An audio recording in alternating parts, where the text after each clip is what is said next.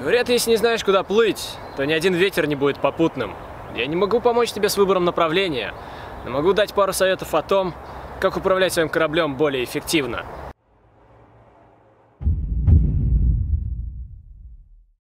Когда дело касается установки целей или задач, то я эмпирическим путем пришел к выводу, что хорошо поставленная цель всегда соответствует трем критериям, трем правилам, которые я назвал правило КОС, по первым буквам этих трех правил.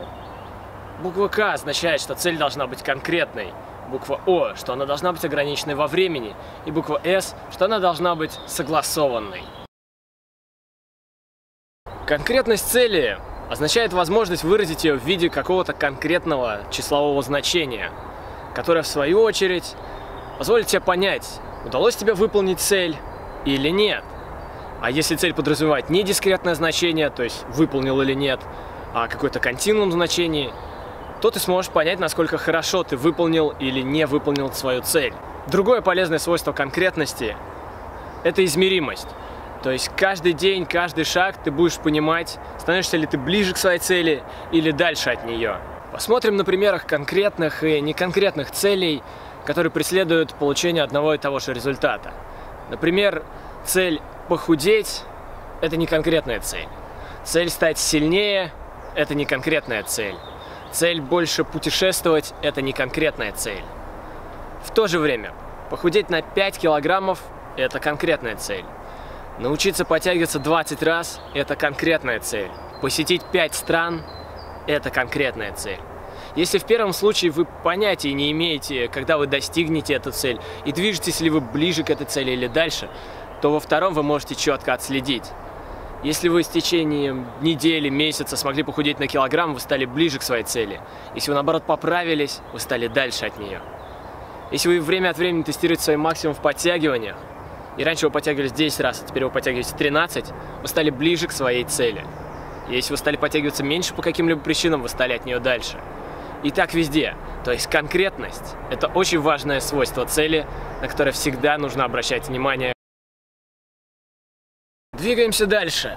Ограниченность во времени. О, это прекрасная вещь. Очень часто люди не обращают внимания на то, что какая-то цель или задача не ограничена времени. То есть она конкретно, да, нужно что-то сделать, что можно измерить, но она не ограничена во времени. И это второй важный момент, на который вам всегда нужно обращать внимание, когда вы ставите перед собой какую-то цель. Вы должны следить за тем, чтобы она была ограничена во времени. Это очень важное качество, если вы хотите добиваться результата. Возвращаясь к предыдущим примерам, цель похудеть на 5 килограмм хорошая, она конкретная – но до тех пор, пока вы не поставите перед собой временные рамки, она будет не очень эффективной. Когда вы знаете, что вам просто нужно похудеть на 5 килограмм, когда-нибудь это, может быть, произойдет, у вас нет стимула для того, чтобы двигаться, у вас нет стимула набирать скорость, стремиться к результату. Если же вы ставите перед собой цель ограниченную во времени, например, похудеть на 5 килограммов до конца года, научиться делать 20 подтягиваний до конца лета, то помимо того, что вы время от времени смотрите, движетесь ли вы ближе к цели или дальше, вы начинаете играть против времени. Каждый прожитый момент либо приближает вас к желаемой цели, либо отдаляет от нее. И в следующий раз, когда вы будете думать, пойти мне сегодня на тренировку или нет, в случае, если ваша цель ограничена во времени, вы будете знать, каждая пропущенная тренировка отдаляет вас от вашей цели. Так же, как и вот этот вкусный тортик, который вы хотите съесть, отдаляет вас от цели похудеть. Это очень важный момент, на который всегда надо обращать внимание. Таким образом, у нас уже два момента. Во-первых, цель должна быть конкретной, выраженной в цифрах. Во-вторых, она должна быть ограничена во времени, чтобы вы точно знали, к какому моменту эта цель должна быть достигнута. Момент номер три – согласованность. Прекрасное качество, о котором очень-очень-очень многие люди забывают, когда ставят перед собой не одну, не две, а пять, там, десять целей, начинают разбрасываться по разным вещам, и не забывают о том, что цели должны быть согласованными. Что это значит? Покажу на простом примере. Допустим, в этом году я хочу до конца года скопить миллион рублей.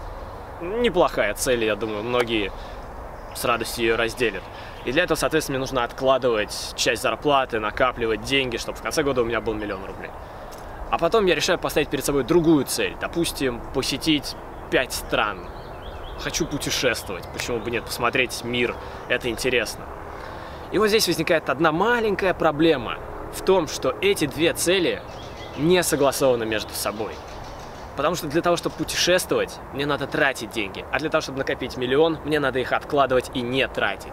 Если говорить о более спортивных вещах, все-таки у нас тематика канала немного более в сторону спорта. Допустим, вы хотите набрать мышечную массу, это будет одна цель, прибавить там 5 килограмм мышечной массы, хотите, не знаю зачем.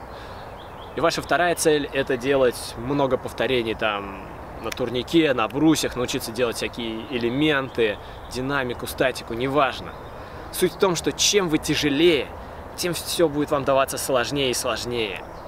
А чем вы легче, тем вы будете дальше находиться от той цели, которую вы поставили перед собой в плане набора массы. И эти две цели, они противоположны друг другу, и ничего с этим не сделать, кроме как расставить приоритеты. В своем видео про управление временем я немного рассказывал о том, как расставлять приоритеты, выбирать между двумя целями.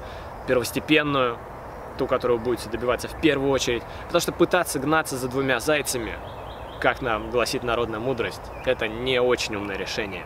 Не нужно раскидываться, потому что в конечном итоге, скорее всего, скорее всего, вы не добьетесь ни одной из этих целей. И в этом плане не нужно смотреть на интернет. Очень многие допускают ошибку, потому что они смотрят ролики в интернете, где там Петя, Ваня, Маша, неважно, ставят перед собой сразу десяток целей, достигает их все. И они думают, что они могут то же самое сделать. Нет, ребята, Прелесть интернета в том, что вы видите только успешные ролики. Вы не видите сотни и тысячи ребят, которые делали то же самое. Они также ставили несогласованные между собой цели и ничего не достигали. Я не говорю сейчас о том, что нужно ограничиться одной единственной целью. Нет, целей может быть несколько, но они должны быть согласованы между собой. То есть, если вы работаете на выносливость, окей, вы можете работать над выносливостью на турнике, и на брусьях, и в отжиманиях от пола, и так далее.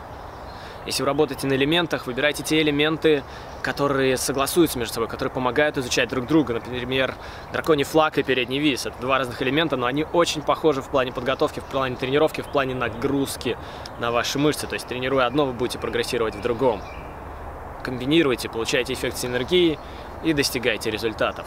Таким образом, резюмируя сегодняшнее видео, есть три главных правила, три критерия хорошей, хорошо поставленной цели. Во-первых, она должна быть конкретной, во-вторых, она должна быть ограничена во времени, и в-третьих, она должна быть согласована с другими вашими целями, с образом жизни и с разными другими факторами, которые могут на нее повлиять. Говорят, что правильно поставленная цель – это уже половина дела. Если вы будете ставить свои цели в соответствии с этими тремя критериями, можете быть уверены, шансы на их успешную реализацию многократно возрастают. На этом все на сегодня. Надеюсь, что никто не ожидал какого-то безумного откровения от меня, потому что в деле постановки цели, в деле управления собой, управления другими людьми нет ничего сложного или секретного тайного. Нет, все очень просто, все уже давно известно, остается только это все применять и получать результаты. Кстати, пишите в комментариях, какие цели вы ставите перед собой на этот год. Было бы интересно узнать, чем живут подписчики нашего канала. С вами был Антон Кучумов, на этом все. Пока.